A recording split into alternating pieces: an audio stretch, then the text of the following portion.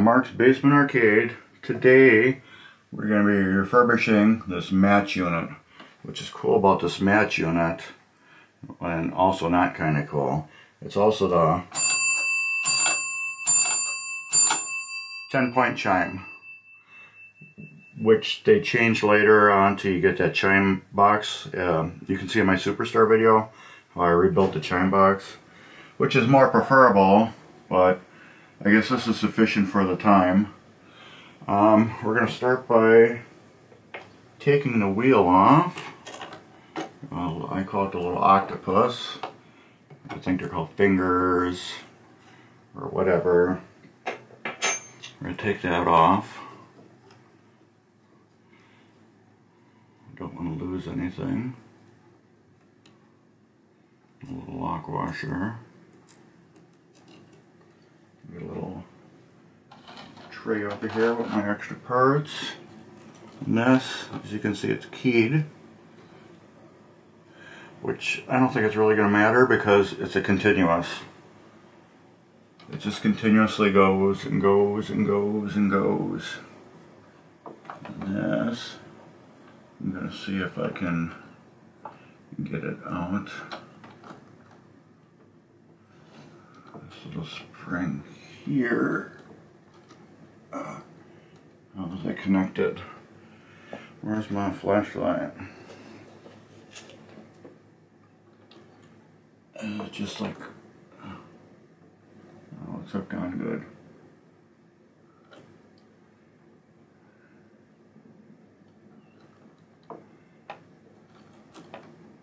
There we go. And there's a washer there. I'm going to have to get my little magnet.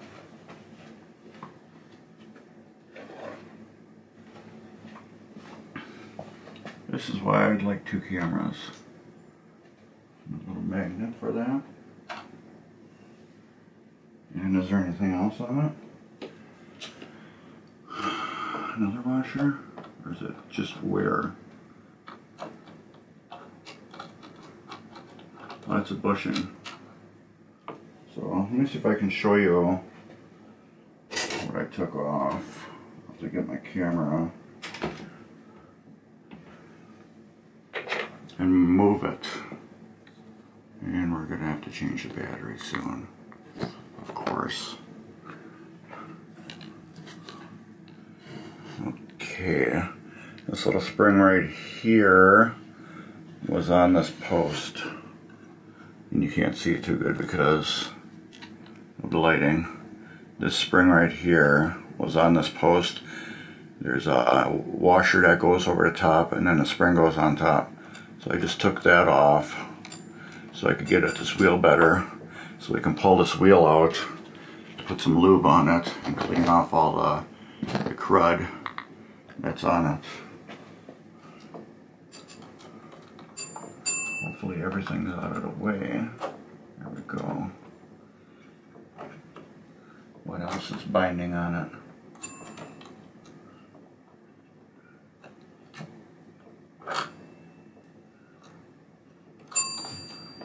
Oh crap. There we go. Got the wheel off. You see there's some crud on it, not really much wear.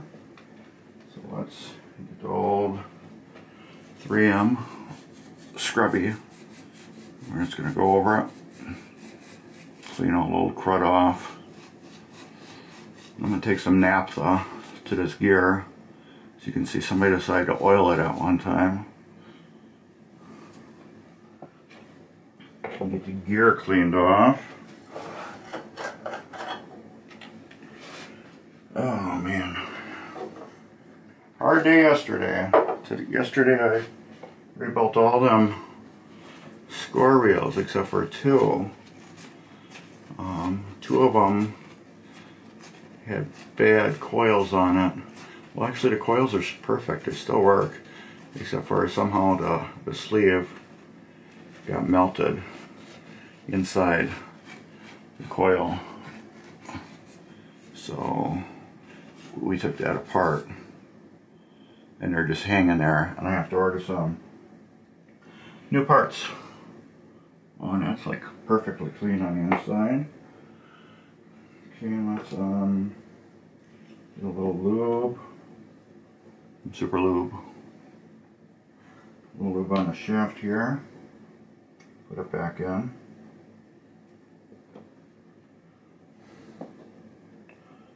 Actually, let's not put it back in. Let's get some lube on it. And we'll leave it out because we're going to clean this. Okay, that's out. Let's go on this. Let's give this a cleaning. I'm sure there's probably grease on it. Get that grease off.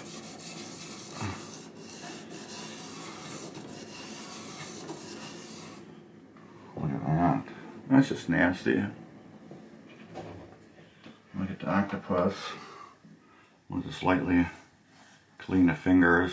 We're still gonna um, go over them just a little bit with uh, either um, 600 grit sandpaper or um, uh, the 3M pad just to get them um, really nice and shiny.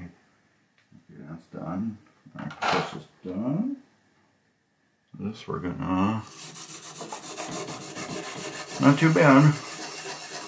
Been cleaned once before.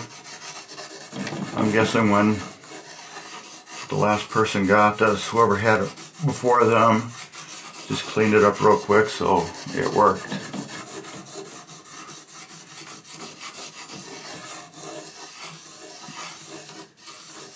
That's nice and perfect now.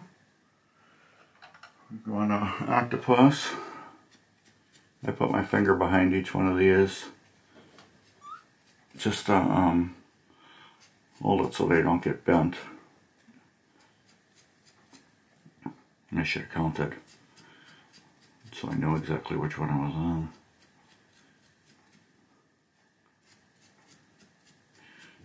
They're in pretty good shape still.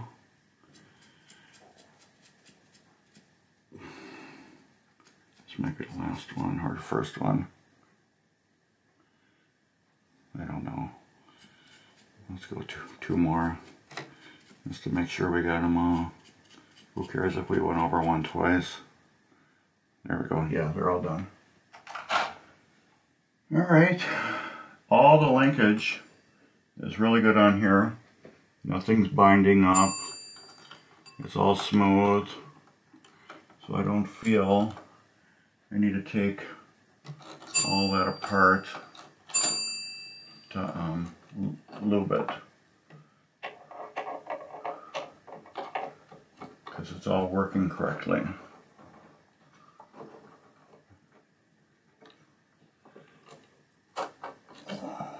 Okay, almost. That. There we go. Beautiful. That's all good to go. We're gonna get that washer back on. We're gonna clean that off. It's black. So I'm gonna clean it off with my naphtha towel. And I'm just gonna put a little bit of super lube on it. Just uh, make sure it gets no um, metal to metal. And I'm cleaning this off too. Man, I wish I had two cameras. But still this side would be hard to see, even if I did. It's just because it's in a tight area.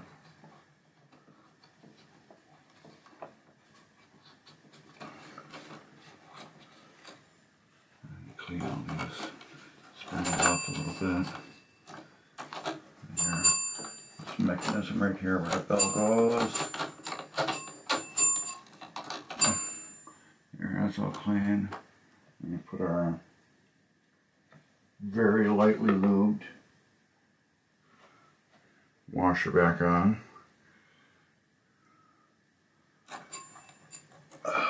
Okay. Now that's it. We're gonna get the spring back over the top of there. There we go.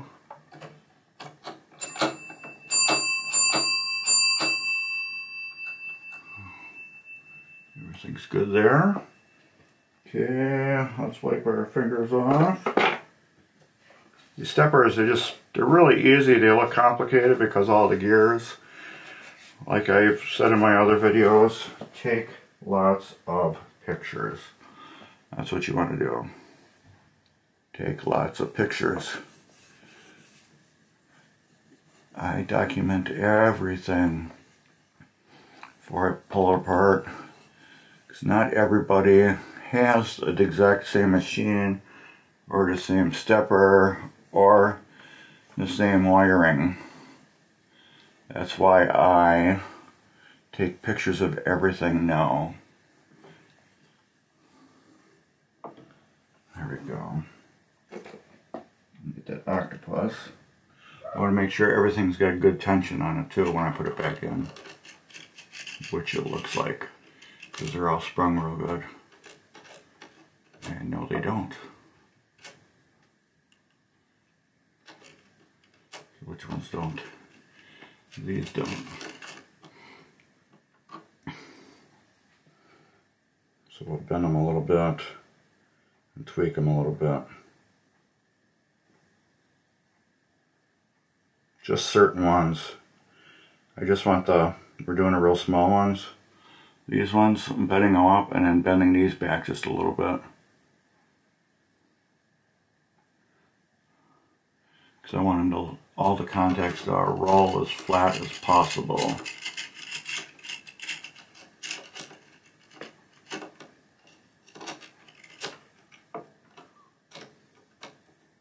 See like that one. You want that to be flat. That one to be flat. Have to bend that one. That one to be flat. That one's pretty flat. That one's pretty flat. Let's do this around and see what other ones we got.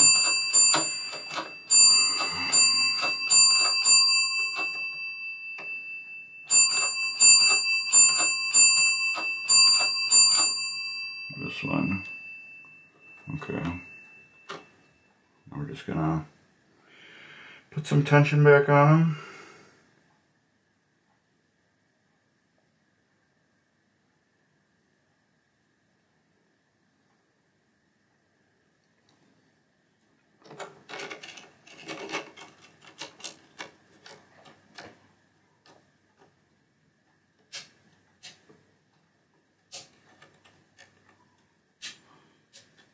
so you can tell enough tension on them you should all have that snap to them let's get them to go around again.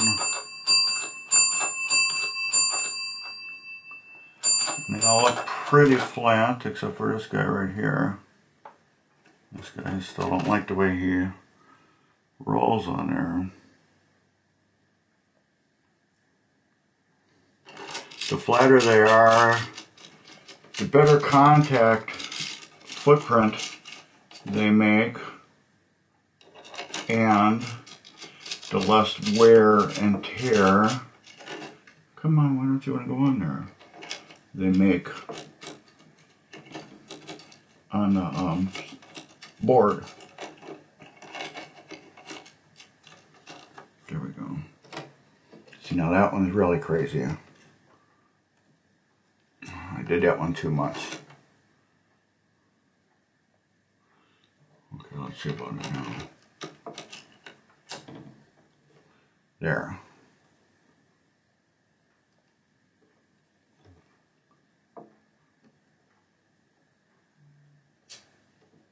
Perfect.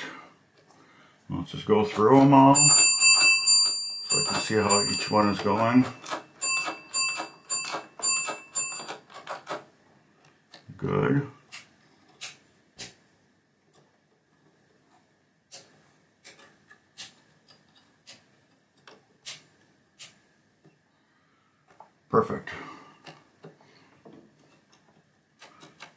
the right contact on them.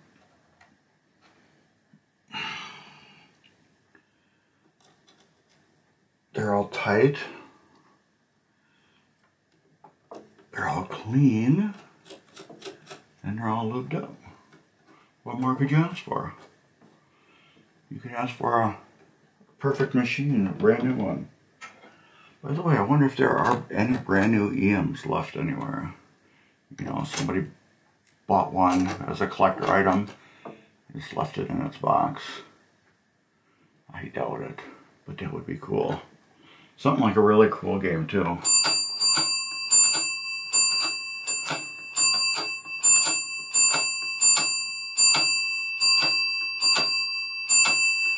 Okay, we got that done.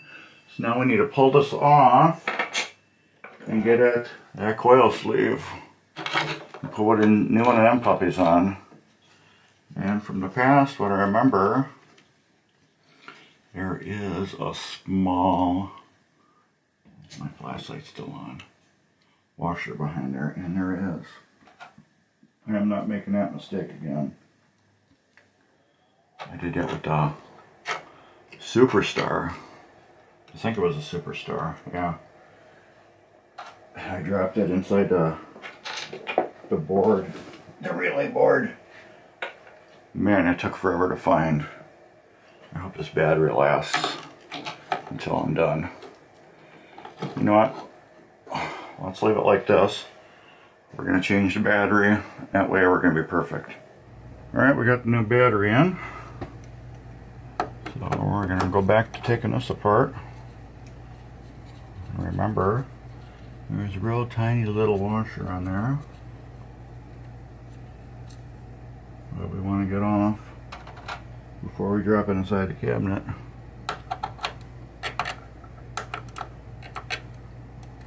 There we go. And in this, we just slide off, exposing the mechanism. See if you can see that better now. Let's move the camera.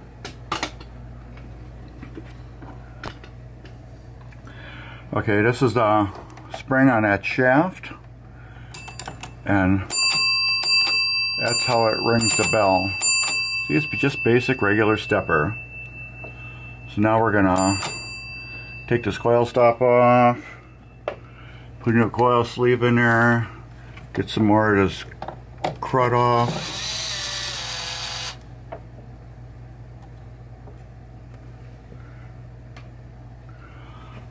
And put her back together.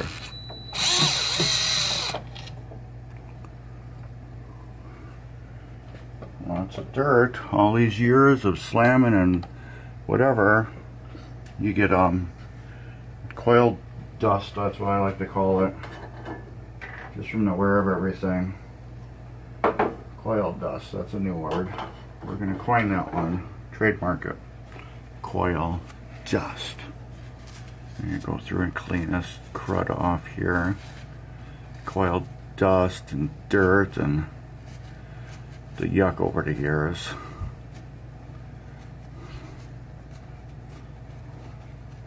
Nice and clean. It will operate better. This out here. Let's pray this slides out. Oh yes. I have not been having good luck with these on this machine. Everything's been getting stuck. And you can see that coil burned out at one time.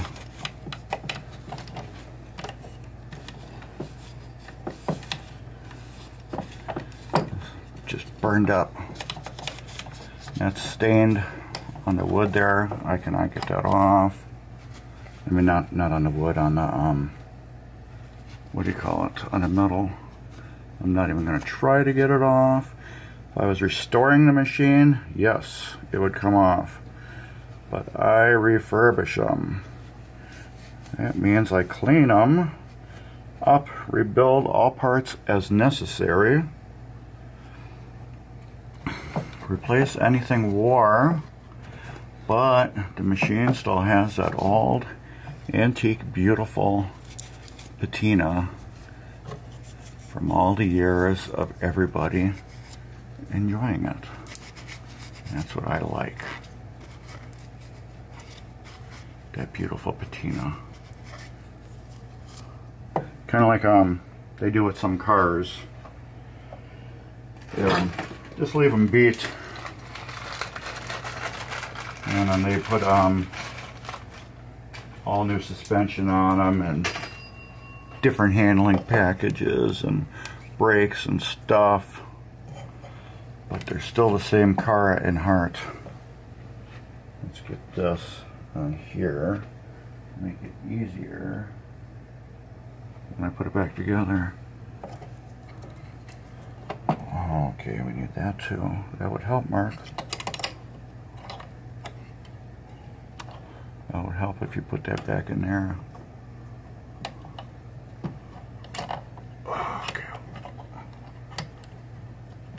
put this down for a second. Okay.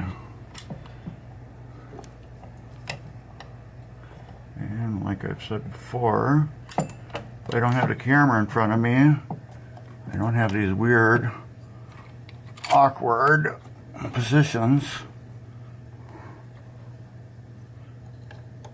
And then I can get my stuff done quicker. Oh, come on, stay.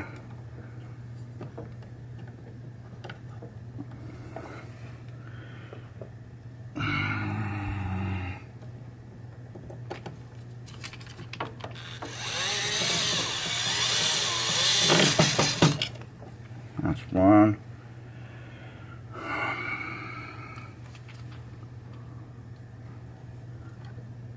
And two.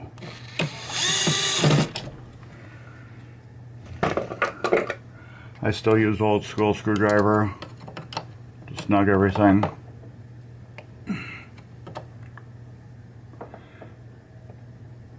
There we go.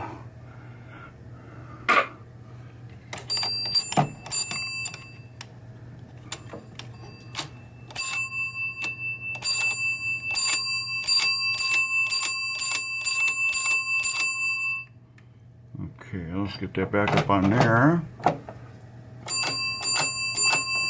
Beautiful. Let's get this over here.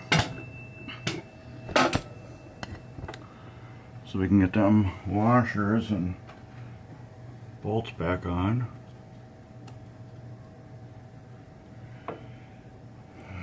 Okay. As you can see I got the replay unit out or credit wheel.